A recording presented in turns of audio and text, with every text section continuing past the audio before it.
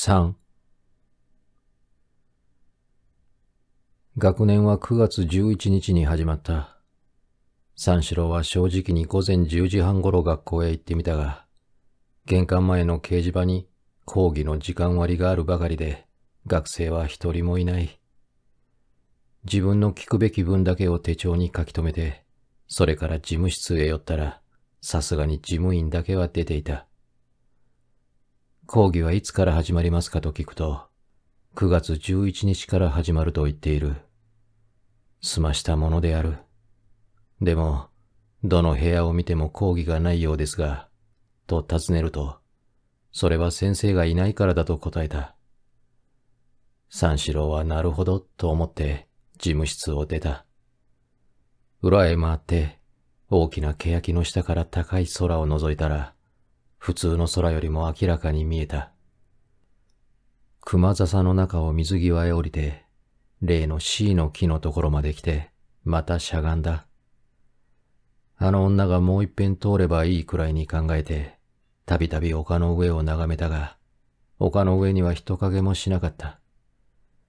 三四郎はそれが当然だと考えた。けれどもやはりしゃがんでいた。すると、ドンが鳴ったんで、驚いて下宿へ帰った。翌日は正八時に学校へ行った。正門を入ると、とっつきの大通りの左右に植えてあるイチョウの並木が目についた。イチョウが向こうの方で尽きるあたりから、だらだら坂に下って、正門の際に立った三四郎から見ると、坂の向こうにある理科大学は二階の一部しか出ていない。その屋根の後ろに朝日を受けた上野の森が遠く輝いている。火は正面にある。三四郎はこの奥行きのある景色を愉快に感じた。イチョウの並木がこちら側で尽きる右手には、法文化大学がある。左手には少し下がって博物の教室がある。建築は双方ともに同じで、細長い窓の上に三角に尖った屋根が突き出している。その三角の縁に当たる赤レンガと黒い屋根の継ぎ目のところが細い石の直線でできている。そうしてその石の色が少し青みを帯びて、すぐ下に来る派手な赤レンガに一種の趣を添えている。そうしてこの長い窓と高い三角が横にいくつも続いている。三四郎はこの間、野々宮君の説を聞いてから以来、急にこの建物をありがたく思っていたが、今朝はこの意見が野々宮君の意見でなくって、初手から自分の自説であるような気がしだした。ことに博物室が法文化と一緒に並んでいないで、少し奥へ引っ込んでいるところが不規則で妙だと思った。今度野々宮君に会ったら、自分の発明としてこの説を持ち出そうと考えた。法文化の右の外れから半丁ほど前へ突き出している図書館にも感服した。よくわからないが、何でも同じ建築だろうと考えられる。その赤い壁につけて、大きなシュロの木を五六本植えたところが大いにいい。左手のずっと奥にある工科大学は、封建時代の西洋のお城から割り出したように見えた。真っ四角に出来上がっている。窓も四角である。ただ四隅と入り口が丸い。これは櫓を形取ったんだろう。お城だけにしっかりしている。法文化見たように倒れそうでない。なんだか背の低い相撲取りに似ている。三四郎は見渡す限り見渡して、この他にもまだ目に入らない建物がたくさんあることを感情に入れて、どことなく雄大な感じを起こした。学問の負はこうなくってはならない。こういう構えがあればこそ研究もできる。偉いものだ。三四郎は大学者になったような心持ちがした。けれども教室へ入ってみたら、鐘は鳴っても先生は来なかった。その代わり学生も出てこない。次の時間もその通りであった。三四郎は感触を起こして教場を出た。そうして念のために池の周りを二辺ばかり回って下宿へ帰った。それから約10日ばかり経ってから、ようやく講義が始まった。三四郎が初めて教室へ入って、他の学生と一緒に先生の来るのを待っていた時の心持ちは、実に首相なものであった。神主が装束をつけて、これから祭典でも行おうとする間際には、こういう気分がするだろうと、三四郎は自分で自分の条件を推定した。実際学問の威厳に打たれたに違いない。それのみならず、先生がベルが鳴って15分経っても出てこないので、ますます良きから生ずる敬意の念を増した。そのうち人品のいいおじいさんの西洋人が戸を開けて入ってきて、流暢な英語で講義を始めた。三四郎はその時、アンサーという字は、アングロサクソン語のアンドスワルから出たんだということを覚えた。それから、スコットの通った小学校の村の名を覚えた。いずれも大切に筆記帳に記しておいた。その次には、文学論の講義に出た。この先生は教室に入って、ちょっとボールドを眺めていたが、ボールドの上に書いてあるゲシェーヘンという字とナハビルドという字を見て、はあ、ドイツ語かと言って、笑いながらさっさと消してしまった。三四郎はこれがためにドイツ語に対する敬意を少し失ったように感じた。先生は、それから古来文学者が文学に対して下した定義をおよそ二重ばかり並べた。三四郎はこれも大事に手帳に筆記しておいた。午後は大教室に出た。その教室は約七八十人ほどの聴講者がいた。したがって先生も演説口調であった。法政一発、浦賀の夢を破って、という冒頭であったから、三四郎は面白がって聞いていると、しまいにはドイツの哲学者の名がたくさん出てきて、甚だ消しにくくなった。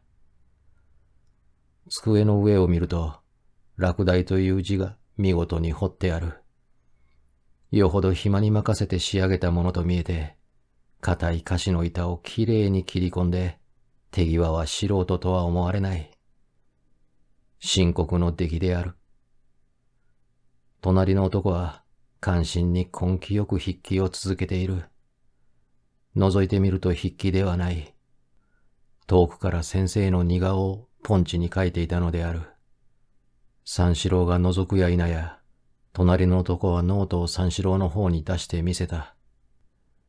絵はうまくできているが、そばに、久方の雲井の空のホトトギスと書いてあるのは何のことだか感じかねた。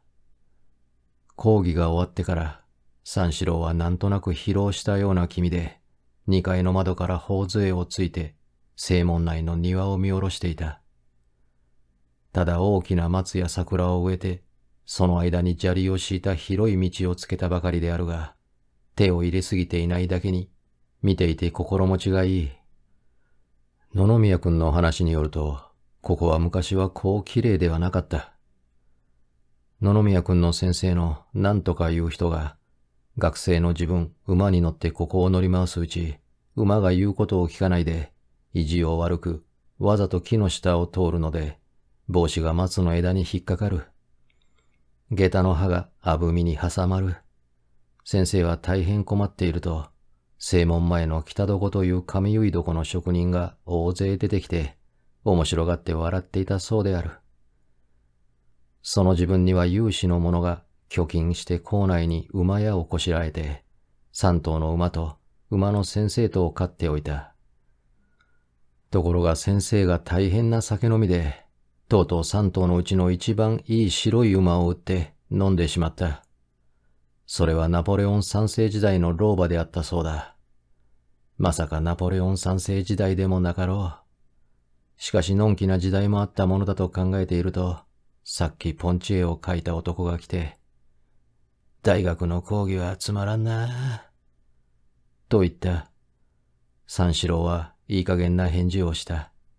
実はつまるかつまらないか、三四郎にはちっとも判断ができないのである。しかしこの時から、この男と口を聞くようになった。その日はなんとなく気が鬱して面白くなかったので、池の周りを回ることは見合わして家へ帰った。晩食後筆記を繰り返して読んでみたが、別に愉快にも不愉快にもならなかった。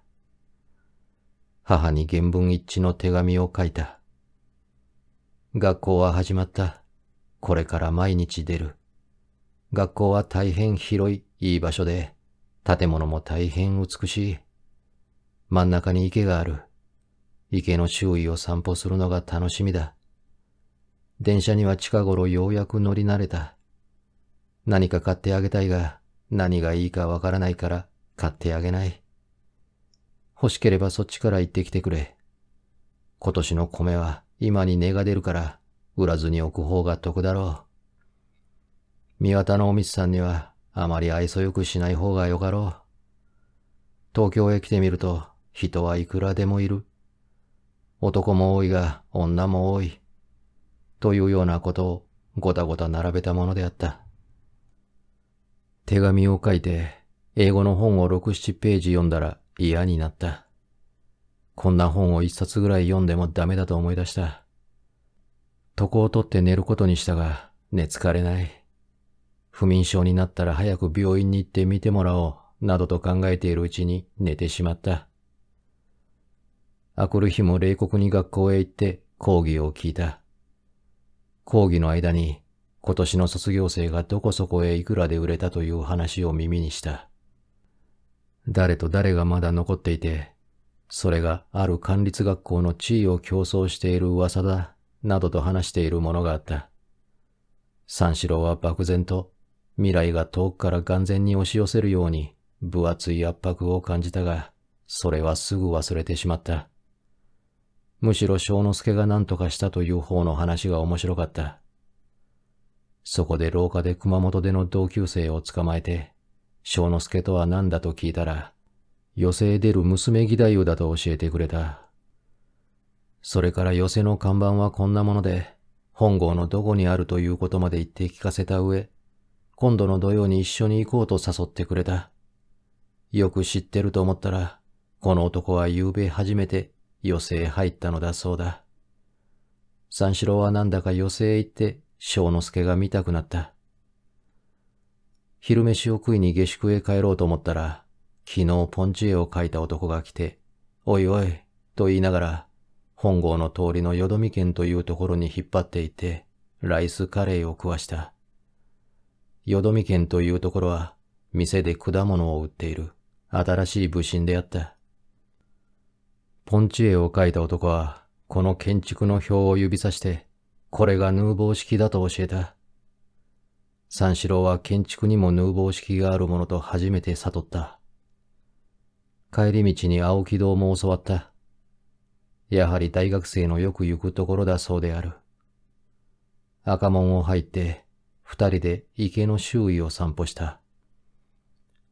その時ポンチエの男は、死んだ小泉八雲先生は、教員控室へ入るのが嫌いで、講義が済むといつでもこの周囲をぐるぐる回って歩いたんだと、あたかも小泉先生に教わったようなことを言った。なぜ控室へ入らなかったのだろうかと三四郎が尋ねたら、それは当たり前ださ。第一彼らの講義を聞いてもわかるじゃないか。話せる者は一人もいやしない。と、手ひどいことを平気で言ったには、三四郎も驚いた。この男は佐々木与次郎といって、専門学校を卒業して、今年また千回入ったのだそうだ。東片町の五番地の広田といううちにいるから遊びに来いという。下宿かと聞くと、何高等学校の先生の家だと答えた。それから当分の間、三四郎は毎日学校へ通って律儀に講義を聞いた。必修科目以外のものへも時々出席してみた。それでもまだ物足りない。そこでついには、専攻科目にまるで縁故のないものまでへも、折々は顔を出した。しかし大抵は二度か三度でやめてしまった。一ヶ月と続いたのは少しもなかった。それでも平均一週に約40時間ほどになる。いかな勤勉な三四郎にも40時間はちと多すぎる。三四郎は絶えず一種の圧迫を感じていた。叱るに物足りない。三四郎は楽しまなくなった。ある日、佐々木与次郎に会ってその話をすると、与次郎は40時間と聞いて目を丸くして、バカバカと言ったが、下宿屋のまずい飯を一日に10遍食ったら物足りるようになるか考えてみろ。と、いきなり稽古でもって三四郎をどやしつけた。三四郎はすぐさま恐れ入って、どうしたらよかろう？と相談をかけた。電車に乗るがいい。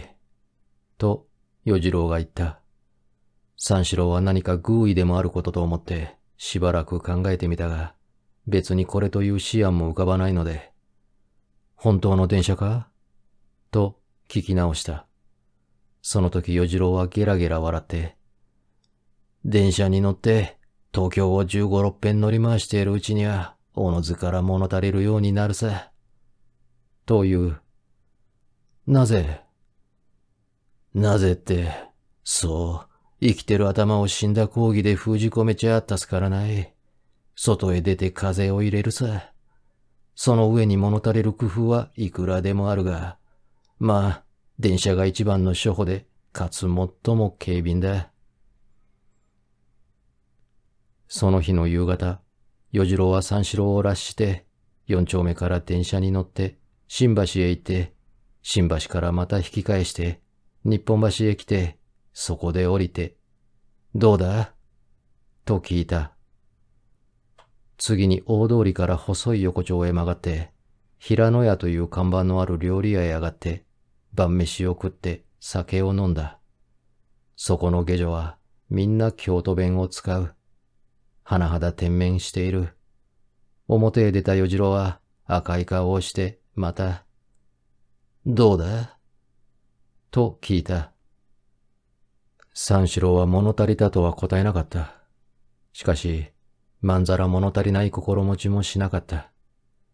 すると与次郎は大いに古参論を始めた。古参は天才である。あんな芸術家は滅多に出るものじゃない。いつでも聞けると思うから安っぽい感じがして、甚だ気の毒だ。実は彼と時を同じくして生きている我々は大変な幸せである。今から少し前に生まれても古参は聞けない。少し遅れても同様だ。遠遊もうまい。しかし古参とは趣が違っている。遠遊の扮した太鼓持ちは、太鼓持ちになった遠遊だから面白いので、古参のやる太鼓持ちは、古参を離れた太鼓持ちだから面白い。遠遊の演ずる人物から遠遊を隠せば、人物がまるで消滅してしまう。古参の演ずる人物からいくら古参を隠したって、人物は活発ハッチに躍動するばかりだ。そこが偉い。与次郎はこんなことを言って、また、どうだ？と聞いた。実を言うと、三四郎には古参の味わいがよくわからなかった。その上、遠遊なるものは、未だかつて聞いたことがない。したがって、与次郎の説の頭皮は判定しにくい。しかしその比較のほとんど文学的と言い得るほどに要領を得たには感服した。高等学校の前で別れるとき、三四郎は、ありがとう、大いに物足りた、と礼を述べた。すると与次郎は、これから先は図書館でなくっちゃ物足りない。と言って、片町の方へ曲がってしまった。この一言で、三四郎は初めて図書館に入ることを知った。その翌日から三四郎は40時間の講義をほとんど半分に減らしてしまった。そうして図書館に入った。広く、長く、天井が高く、左右に窓のたくさんある建物であった。書庫は入り口しか見えない。こっちの正面から覗くと、奥には書物がいくらでも備え付けてあるように思われる。立って見ていると、書庫の中から熱い本を二三冊抱えて、出口へ来て左へ折れていくものがある。職員閲覧室へ行く人である。中には必要の本を書棚から取り下ろして、胸いっぱいに広げて、立ちながら調べている人もある。三四郎は羨ましくなった。奥まで行って二階へ上がって、それから三階へ上がって、本郷より高いところで生きたものを近づけずに、紙の匂いを嗅ぎながら読んでみたい。けれども何を読むかに至っては別にはっきりした考えがない。読んでみなければわからないが、何かあの奥にたくさんありそうに思う。三四郎は一年生だから書庫へ入る権利がない。仕方なしに大きな箱入りの札目録を古言で一枚一枚調べていくと、いくらめくっても後から新しい本の名が出てくる。しまいに肩が痛くなった。顔を上げて中休みに館内を見回すと、さすがに図書館だけあって静かなものである。しかも人がたくさんいる。そうして向こうの外れにいる人の顔が黒く見える。目口ははっきりしない。高い窓の外からところどころに木が見える。空も少し見える。遠くから街の音がする。三四郎は立ちながら、学者の生活は静かで深いものだと考えた。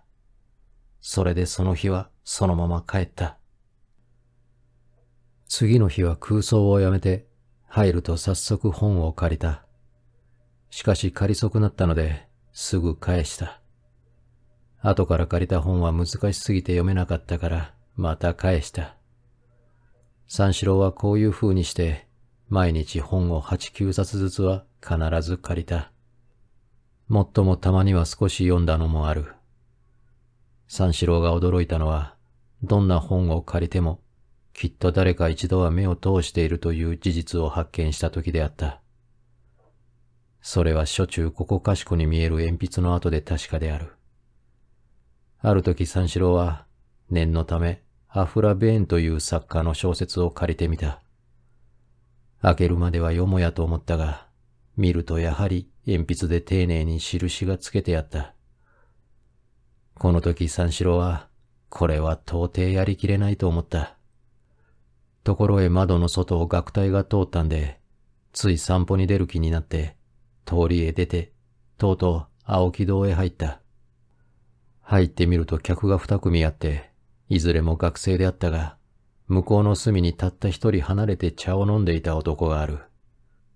三四郎がふとその横顔を見ると、どうも状況の説、汽車の中で水蜜糖をたくさん食った人のようである。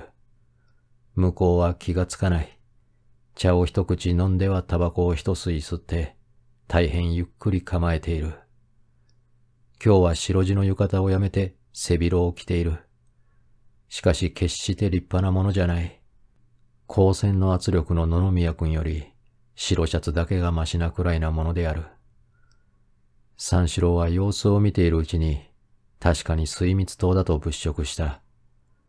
大学の講義を聞いてから以来、記者の中でこの男の話したことが、なんだか急に意義のあるように思われ出したところなので、三四郎はそばへ行って挨拶をしようかと思った。けれども先方は正面を見たなり、茶を飲んではタバコをふかし、タバコをふかしては茶を飲んでいる。手の出しようがない。三四郎はじっとその横顔を眺めていたが、突然コップにある葡萄酒を飲み干して表へ飛び出した。そうして図書館に帰った。その日は葡萄酒の景気と一種の精神作用とで、例になく面白い勉強ができたので、三四郎は大いに嬉しく思った。二時間ほど読書三昧に入った後、ようやく気がついて、そろそろ帰る支度をしながら一緒に借りた書物のうち、まだ開けてみなかった最後の一冊を何気なくひっぺがしてみると、本の見返しの空いたところに、乱暴にも鉛筆でいっぱい何か書いてある。ヘーゲルのベルリン大学に哲学を講じたるとき、ヘーゲルにゴーも哲学を売るの意なし。彼の講義は、誠を説くの講義にあらず、誠を大せる人の講義なり。下の講義にあらず、心の講義なり、誠と人と合して順化一致せるとき、その解くところ、いうところは、講義のための講義にあらずして、道のための講義となる。哲学の講義はここに至って初めて聞くべし。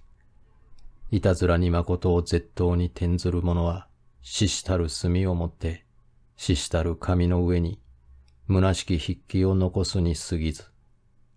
何の意義か、これあらん。よ、今試験のため、すなわちパンのために、恨みを飲み、涙を飲んでこの書を読む。心身たる頭を抑えて、未来永劫に試験制度を受訴することを記憶せよ。とある。署名は無論ない。三四郎は覚えず微笑した。けれどもどこか啓発されたような気がした。哲学ばかりじゃない。文学もこの通りだろうと考えながら、ページをはぐると、まだある。ヘーゲルの。よほどヘーゲルの好きな男と見える。ヘーゲルの講義を機関として、司法よりベルリンに集まれる学生は、この講義を衣食のもとに利用せんとの野心をもって集まれるにあらず、ただ鉄人ヘーゲルなるものありて、講談の上に無常不変の誠を伝うると聞いて、工場愚道の念に切なるがため、檀家に我が不穏定の疑義を解釈せんと欲したる症状心の発言に他ならず。このゆえに彼らはヘーゲルを聞いて、彼らの未来を欠場し得たり、自己の運命を改造し得たり、のっぺらぼうに講義を聞いて、のっぺらぼうに卒業し去るコーラ日本の大学生と同じことと思うは、天下のうぬぼれなり。コーラはタイプライターに過ぎず、しかも欲張ったるタイプライターなり。コーラのなすところ、思うところ、言うところ、ついに切実なる社会の活気、運に関節。死に至るまでのっぺらぼうなるかな。死に至るまでのっぺらぼうなるかな。と、のっぺらぼうを二遍繰り返している。三四郎は目前として考え込んでいた。すると、後ろからちょいと肩を叩いたものがある。例の与次郎であった。与次郎を図書館で見かけるのは珍しい。彼は講義はダメだが、図書館は大切だと主張する男である。けれども主張通りに入ることも少ない男である。おい、野々宮宗八さんが君を探していた。という。与次郎が野々宮君を知ろうとは思いがけなかったから、念のため理科大学の野々宮さんかと聞き直すと、うん、という答えを得た。早速本を置いて、入り口の新聞を閲覧するところまで出て行ったが、野々宮君がいない。玄関まで出てみたが、やっぱりいない。石段を降りて、首を伸ばしてその辺を見回したが、影も形も見えない。やむを得ず引き返した。元の席へ来てみると、与次郎が例のヘーゲル論を指して、小さな声で、だいぶ古ってる。昔の卒業生に違いない。昔のやつは乱暴だが、どっか面白いところがある。実際この通りだ。と、ニヤニヤしている。だいぶ気に入ったらしい。三四郎は、野々宮さんはおらんぜ。という。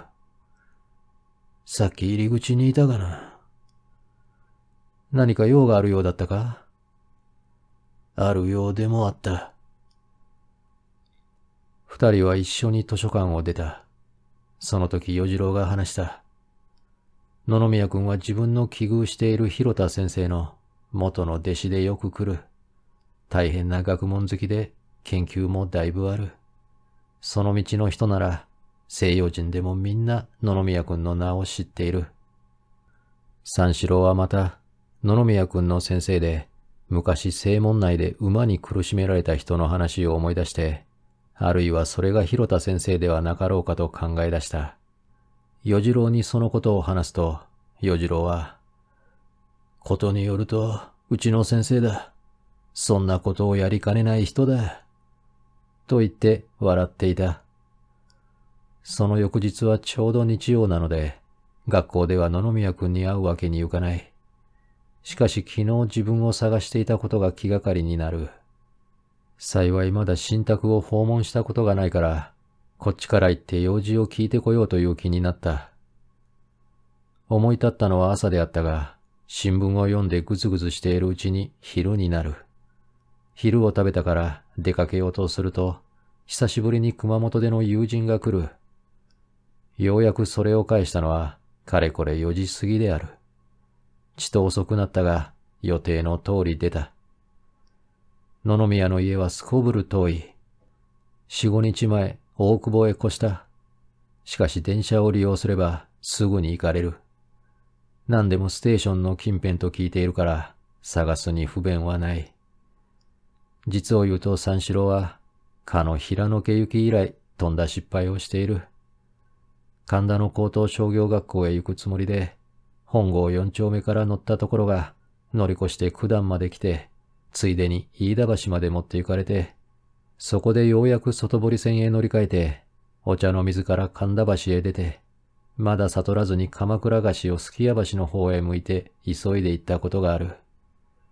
それより以来、電車はとかく物騒な感じがしてならないのだが、後部線は一筋だとかねて聞いているから安心して乗った。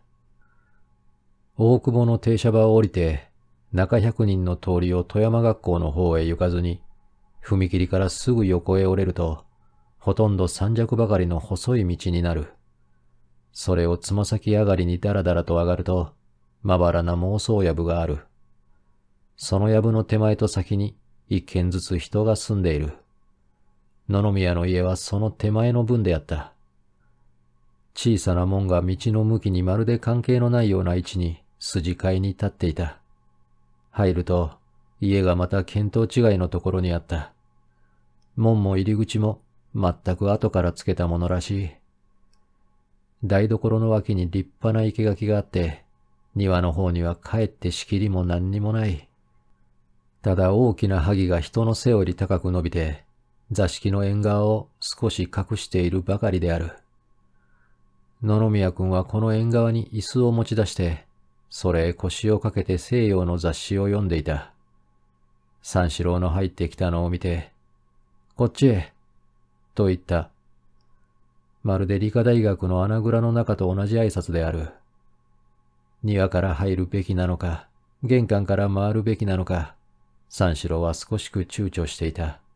するとまた、こっちへ、と催促するので、思い切って庭から上がることにした。座敷はすなわち書斎で、広さは八畳で、割合に西洋の書物がたくさんある。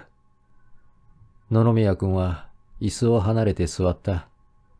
三四郎は閑静なところだとか、割合にお茶の水まで早く出られるとか、望遠鏡の試験はどうなりましたかとか、締まりのない当座の話をやった後、昨日私を探しておいでだったそうですが、何かご用ですか？と聞いた。すると野々宮君は少し気の毒そうな顔をして、何、実は何でもないんですよ。と言った。三四郎はただ、はあ、と言った。それでわざわざ来てくれたんですか？何、そういうわけでもありません。実はお国のおっかさんがね、せがれがいろいろお世話になるからと言って、結構なものを送ってくださったから、ちょっとあなたにもお礼を言おうと思って。はあ、そうですか。何か送ってきましたか？ええ赤い魚のかす漬けなんですがね。じゃあ、姫市でしょう。三四郎はつまらんものを送ったものだと思った。しかし野々宮君は、かの姫市についていろいろなことを質問した。三四郎は特に食う時の心得を説明した。カスごと焼いて、いざ皿へ移すという時に、カスを取らないと味が抜けると言って教えてやった。二人が姫市について問答をしているうちに、日が暮れた。三四郎はもう帰ろうと思って挨拶を仕掛けるところへ、どこからか電報が来た。野々宮君は封を切って電報を読んだが、口の内で、困ったなぁ、と言った。三四郎は済ましているわけにもゆかず、と言ってむやみに立ち入ったことを聞きにもならなかったので、ただ、何かできましたか？と棒のように聞いた。すると野々宮君は、何、大したことでもないのです。と言って手に持った電報を三四郎に見せてくれた。すぐ来てくれ、とある。どこかへおいでになるのですか？ええ。妹がこの間から病気をして、大学の病院に入っているんですが、そいつがすぐ来てくれと言うんです。と、一向騒ぐ景色もない。三四郎の方はかえって驚いた。野々宮君の妹と妹の病気と大学の病院を一緒にまとめて、それに池の周囲であった女を加えて、それを一時にかき回して驚いている。じゃあ、よほど悪いんですな。なーに、そうじゃないんでしょう。実は母が看病に行ってるんですが、もし病気のためなら、電車へ乗ってかけてきた方が早いわけですからね。なに、妹のいたずらでしょう。バカだからよくこんな真似をします。ここへ越してからまだ一遍も行かないものだから、今日の日曜には来ると思って待ってでもいたのでしょう。それで、と言って首を横に曲げて考えた。しかし、おいでになった方がいいでしょう。もし悪いといけません。さよ、四五日行かないうちにそう急に変わるわけもなさそうですが、まあ行ってみるか。おいでになるにしくはないでしょう。野々宮は行くことにした。行くと決めたについては、三四郎に頼みがあると言い出した。万一病気のための電報とすると、今夜は帰れない。すると留守が下女一人になる。下女が非常に臆病で、近所がことのほか物騒である。気合わせたのがちょうど幸いだから、明日の家業に差し支えがなければ泊まってくれまいか。もっとも、ただの電報ならばすぐ帰ってくる。前から分かっていれば、例の佐々木でも頼むはずだったが、今からではとても間に合わない。たった一晩のことではあるし、病院へ泊まるか泊まらないか、まだわからない先から、関係もない人に迷惑をかけるのはわがまますぎて、強いてとは言いかねるが、無論野々宮は高流長には頼まなかったが、相手の三四郎が総流長に頼まれる必要のない男だから、すぐ承知してしまった。下女がご飯はというのを食わないと言ったまま、三四郎に、失敬だが、君一人で後で食ってください。と、夕飯まで置き去りにして出て行った。行ったと思ったら、暗い萩の間から大きな声を出して、僕の書斎にある本は何でも読んでいいです。別に面白いものもないが、何かご覧なさい。小説も少しはある。と言ったまま消えてなくなった。縁側まで見送って三四郎が礼を述べたときは、三坪ほどな妄想やぶの竹がまばらなだけに一本ずつまだ見えた。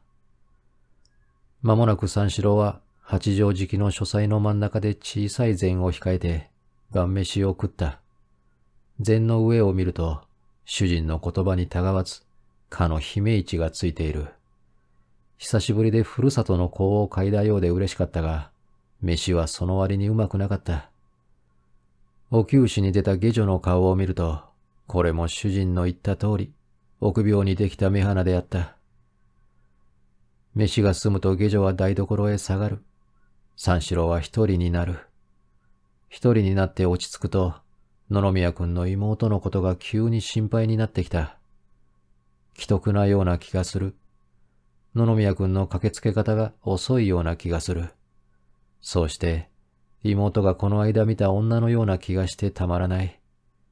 三四郎はもう一遍、女の顔つきと目つきと、服装と、あの時あのままに繰り返して、それを病院の荷台の上に乗せて、そのそばに野々宮君を立たして、二三の会話をさしたが、兄では物足らないので、いつの間にか自分が代理になっていろいろ親切に介抱していた。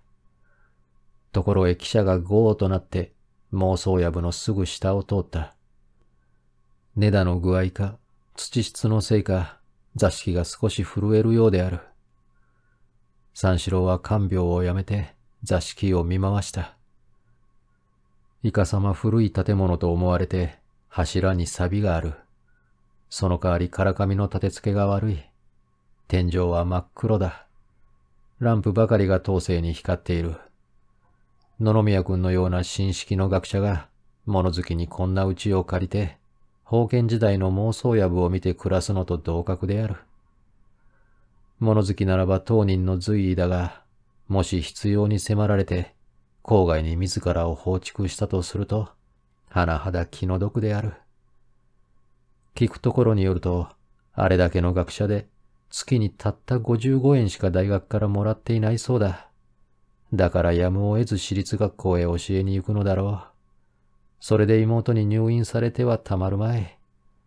大久保へ越したのも、あるいはそんな経済上の都合かもしれない。酔いの口ではあるが、場所が場所だけにしんとしている。庭の先で虫の音がする。一人で座っていると、寂しい秋の初めである。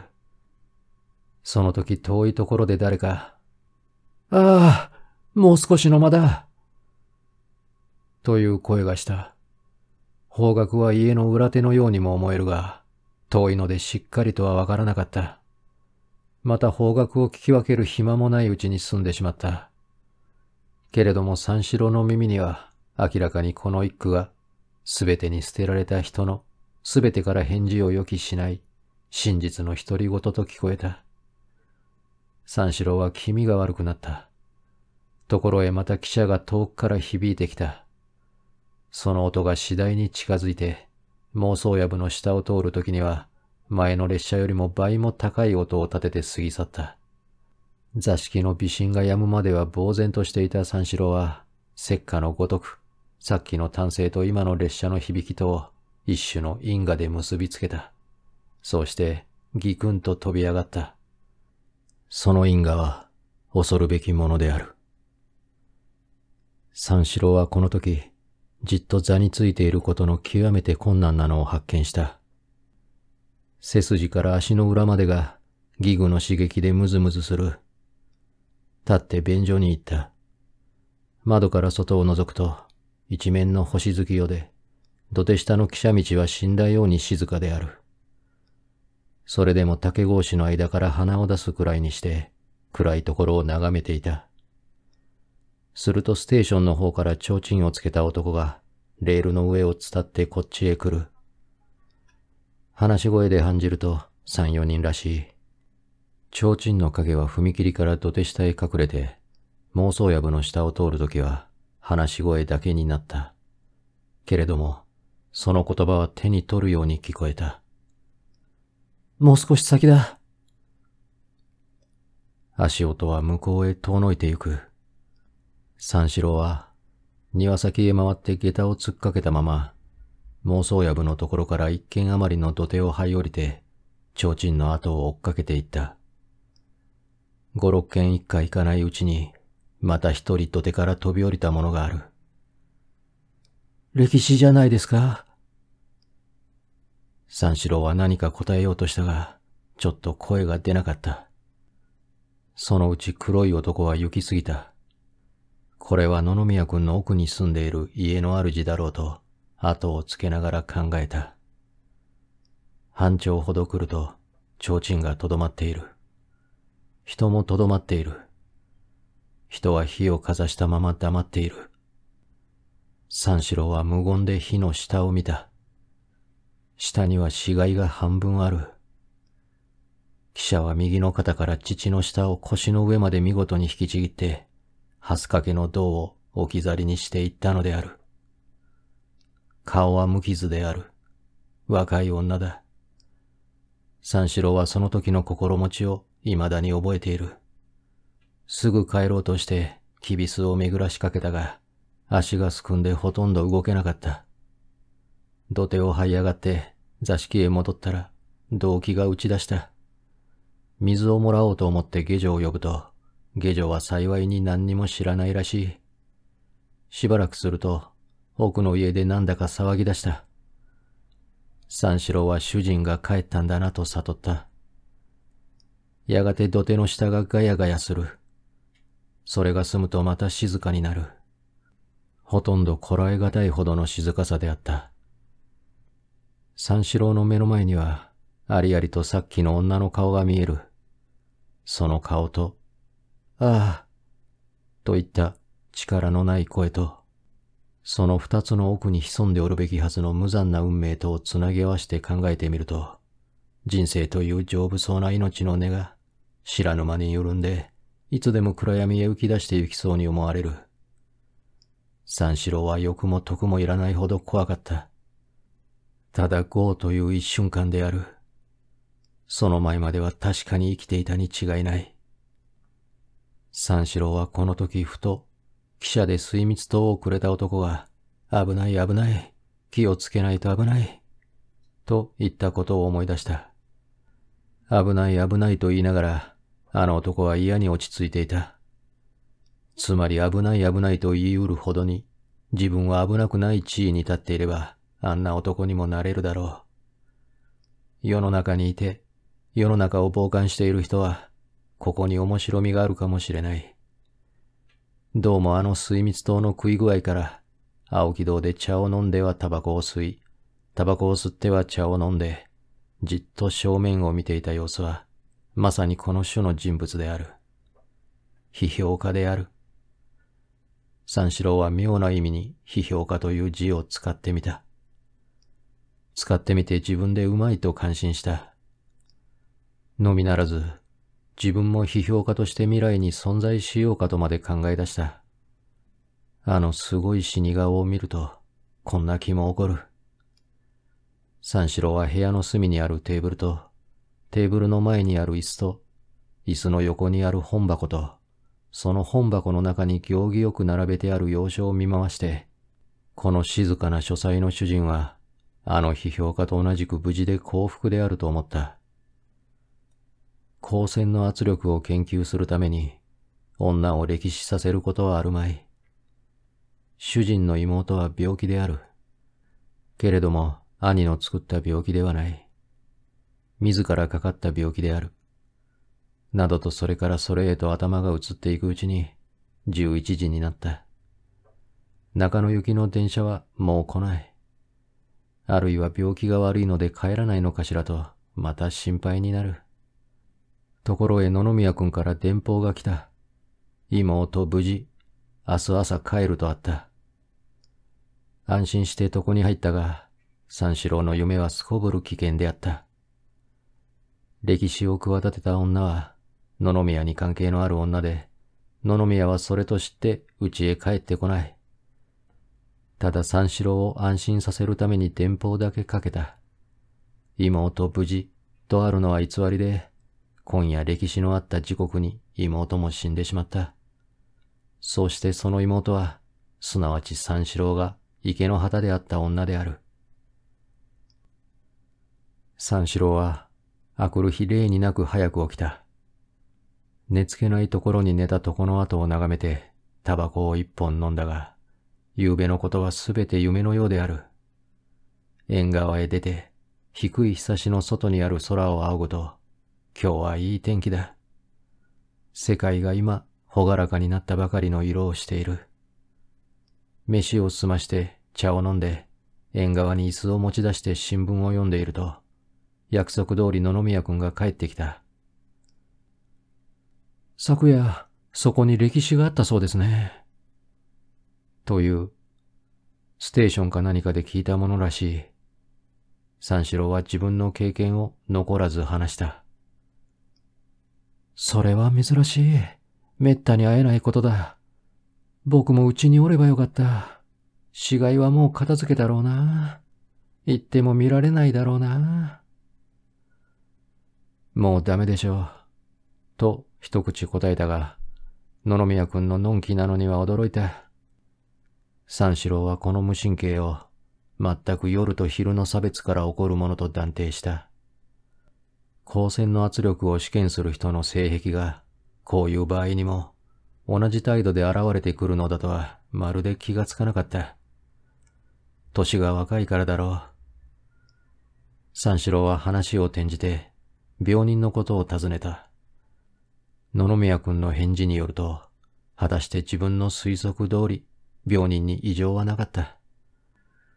ただ五六日以来言ってやらなかったものだから、それを物足りなく思って、退屈紛れに兄を釣り寄せたのである。今日は日曜なのに来てくれないのはひどいと言って怒っていたそうである。それで野々宮君は妹をバカだと言っている。本当にバカだと思っているらしい。この忙しい者に大切な時間を浪費させるのは愚かだというのである。けれども三四郎にはその意味がほとんどわからなかった。わざわざ電報をかけてまで会いたがる妹なら、日曜の一晩や二晩を潰したって惜しくはないはずである。そういう人に会って過ごす時間が本当の時間で、穴蔵で高専の試験をして暮らす月日は、むしろ人生に遠い干渉外と言うべきものである。自分が野々宮君であったならば、この妹のために勉強の妨害をされるのをかえって嬉しく思うだろう。くらいに感じたが、その時は歴史のことを忘れていた。野々宮君は昨夜よく寝られなかったものだから、ぼんやりしていけないと言い出した。今日は幸い、昼から早稲田の学校へ行く日で、大学の方は休みだから、それまで寝ようと言っている。だいぶ遅くまで起きていたんですか？と三四郎が聞くと、実は偶然、高等学校で教わった元の先生の広田という人が妹の見舞いに来てくれて、みんなで話をしているうちに、電車の時間に遅れて、つい泊まることにした。広田の家へ泊まるべきのを、また妹がだだをこねて、ぜひ病院に泊まれと言って聞かないから、やむを得ず狭いところへ寝たら、なんだか苦しくって寝つかれなかった。どうも妹は愚物だ。と、また妹を攻撃する。三四郎はおかしくなった。少し妹のために弁護しようかと思ったが、なんだか言いにくいのでやめにした。その代わり広田さんのことを聞いた。三四郎は広田さんの名前をこれで三四遍耳にしている。そうして、水密島の先生と青木堂の先生に、密かに広田さんの名をつけている。それから正門内で意地の悪い馬に苦しめられて、北床の職人に笑われたのも、やはり広田先生にしてやる。ところが今伺ってみると、馬の剣は果たして広田先生であった。それで水密島も必ず同先生に違いないと決めた。考えると少し無理のようでもある。帰るときに、ついでだから午前中に届けてもらいたいと言って、合わせを一枚病院まで頼まれた。三四郎は大いに嬉しかった。三四郎は新しい四角な帽子をかぶっている。この帽子をかぶって病院に行けるのがちょっと得意である。さえざえしい顔をして野々宮君の家を出た。お茶の水で電車を降りて、すぐ車に乗った。いつもの三四郎に似合わぬ所作である。威勢よく赤門を引き込ませたとき、法文化のベルが鳴り出した。いつもならノートと陰気壺を持って八番の教室に入る自分である。一、二時間の講義ぐらい聞き損なっても構わないという気で、まっすぐに青山内科の玄関まで乗りつけた。上がり口を奥へ、二つ目の角を右へ切れて、突き当たりを左へ曲がると、左側の部屋だと教わった通り歩いていくと、果たしてあった。黒塗りの札に野々宮よしこと奏で書いて、戸口にかけてある。三四郎はこの名前を読んだまま、しばらく戸口のところで佇んでいた。田舎者だからノックするなぞという気の利いたことはやらない。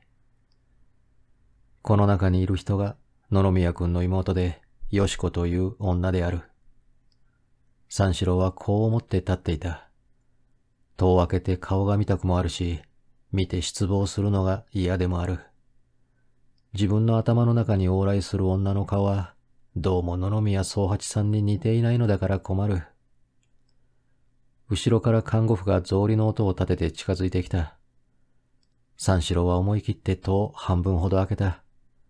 そうして中にいる女と顔を見合わした。片手にハンドルを持ったまま。目の大きな、鼻の細い、唇の薄い、鉢が開いたと思うくらいに、額が広くって、顎がこけた女であった。造作はそれだけである。けれども三四郎は、こういう顔立ちから出る、この時にひらめいたとっさの表情を生まれて初めて見た。青白い額の後ろに、自然のままに垂れた濃い髪が肩まで見える。それ東窓を漏れる朝日の光が後ろから差すので、髪と火の触れ合う境のところがすみれ色に燃えて、生きた月傘を背負ってる。それでいて、顔も額も甚だ暗い。暗くて青白い。その中に遠い心持ちのする目がある。高い雲が空の奥にいて容易に動かない。けれども動かずにもいられない。ただなだれるように動く。女が三四郎を見たときは、こういう目つきであった。三四郎はこの表情のうちに、物を憂鬱と、隠さざる快活との統一を見出した。その統一の感じは、三四郎にとって最も尊き人生の一辺である。そうして、一大発見である。三四郎はハンドルを持ったまま、顔を戸の影から半分部屋の中に差し出したまま、この刹那の間に自らを放下し去った。お入りなさい。女は三四郎を待ち設けたように言う。その調子には、初対面の女には見出すことのできない安らかな音色があった。純粋の子供か、あらゆる男児に接し尽くした婦人でなければ、こうは出られない。慣れ慣れしいのとは違う。初めから古い知り合いなのである。同時に女は肉の豊かでない方を動かしてニコリと笑った。青白いうちに懐かしい温かみができた。三四郎の足は自然と部屋の中へ入った。その時青年の頭の内には遠い故郷にある母の影がひらめいた。戸の後ろへ回って初めて正面へ向いた時、五十余りの婦人が三四郎に挨拶をした。この婦人は、三四郎の体がまだ扉の影を出ない前から席を立って待っていたものと見える。小川さんですか？と、向こうから尋ねてくれた。顔は野々宮君に似ている。娘にも似ている。しかしただ似ているというだけである。頼まれた風呂敷包みを出すと、受け取って礼を述べて、どうぞ、と言いながら椅子を進めたまま、自分はベッドの向こう側へ回った。寝台の上に敷いた布団を見ると真っ白である。上へかけるものも真っ白である。それを半分ほどハスにはぐって、裾の方が熱く見えるところを、避けるように女は窓を背にして腰をかけた。足は床に届かない。手に網針を持っている。毛糸の玉が荷台の下に転がった。女の手から長い赤い糸が筋を引いている。三四郎は荷台の下から毛糸の玉を取り出してやろうかと思った。けれども、女が毛糸にはまるで無頓着でいるので控えた。おっかさんが向こう側からしきりに昨夜の礼を述べる。お忙しいところ、などという。三四郎は、いいえ、どうせ遊んでいますから、という。二人が話をしている間、よしこは黙っていた。二人の話が切れたとき、突然、昨べの歴史をご覧になって？と聞いた。見ると部屋の隅に新聞がある。三四郎が、ええ。という。怖かったでしょと言いながら少し首を横に曲げて三四郎を見た。兄に似て首の長い女である。三四郎は怖いとも怖くないとも答えずに、女の首の曲がり具合を眺めていた。半分は質問があまり単純なので、答えに窮したのである。半分は答えるのを忘れたのである。女は気がついたと見えて、すぐ首をまっすぐにした。そうして青白い方の奥を少し赤くした。三四郎はもう帰るべき時間だと考えた。挨拶をして部屋を出て、玄関正面へ来て、向こうを見ると、長い廊下の外れが四角に切れて、パッと明るく、表の緑が映る上がり口に、池の女が立っている。はっと驚いた三四郎の足は、早速歩調に狂いができた。その時、透明な空気のカンバスの中に暗く描かれた女の影は、一足前へ動いた。三四郎も誘われたように前へ動いた。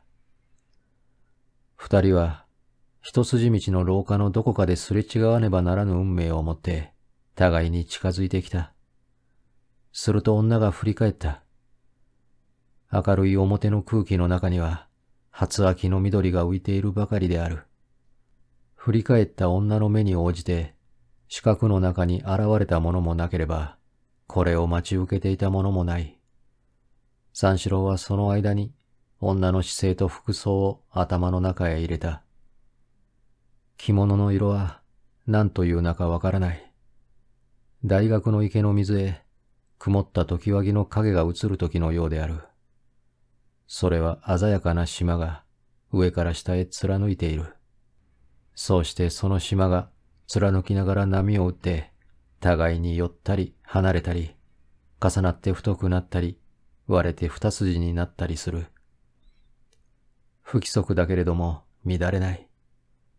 上から三分一のところを広い帯で横に仕切った。帯の感じには温かみがある。木を含んでいるためだろう。後ろを振り向いたとき、右の肩が後へ引けて左の手が腰に沿ったまま前へ出た。ハンケチを持っている。そのハンケチの指に余ったところがさらりと開いている。絹のためだろう。腰から下は正しい姿勢にある。女はやがて元の通りに向き直った。目を伏せて二足ばかり三四郎に近づいたとき、突然首を少し後ろに引いて、まともに男を見た。二重まぶたの切れ長の落ち着いた格好である。目立って黒の眉毛の下に生きている。同時に綺麗な歯が現れた。この歯とこの顔色とは、三四郎にとって忘るべからざる対象であった。今日は白いものを薄く塗っている。けれども本来の字を隠すほどに無趣味ではなかった。細やかな肉が程よく色づいて、強い日にめげないように見える上を極めて薄く子が吹いている。てらてら光る顔ではない。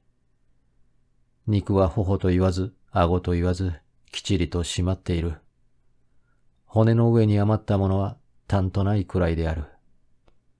それでいて、顔全体が柔らかい。肉が柔らかいのではない。骨そのものが柔らかいように思われる。奥行きの長い感じを起こさせる顔である。女は腰をかがめた。三四郎は白の人に礼をされて驚いたというよりも、むしろ礼の仕方の巧みなのに驚いた。腰から上が風に乗る髪のようにふわりと前に落ちた。しかも早い。それである角度まで来て、苦もなくはっきりと止まった。無論習って覚えたものではない。ちょっと伺いますが。という声が白い歯の間から出た。きりりとしている。しかし応用である。ただ夏の盛りに C の実がなっているかと人に聞きそうには思われなかった。三四郎はそんなことに気のつく余裕はない。はあ。と言って立ち止まった。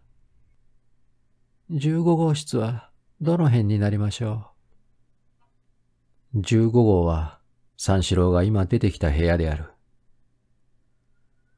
野々宮さんの部屋ですか？今度は女の方が、はあという。野々宮さんの部屋はね、その角を曲がって突き当たって、また左へ曲がって、二番目の右側です。その角を？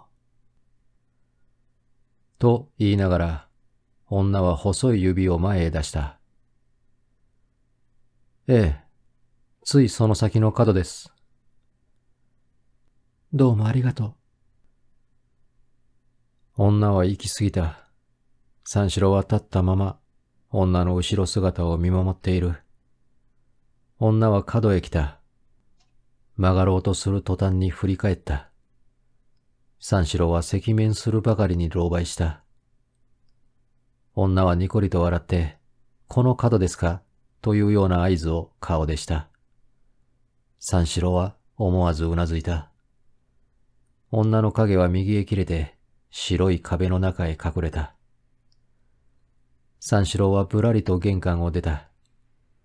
医科大学生と間違えて部屋の番号を聞いたのかしらんと思って五六歩歩いたが、急に気がついた。女に十五号を聞かれたとき、もう一遍よしこの部屋へ後戻りをして案内すればよかった。残念なことをした。三四郎は今更取って返す勇気は出なかった。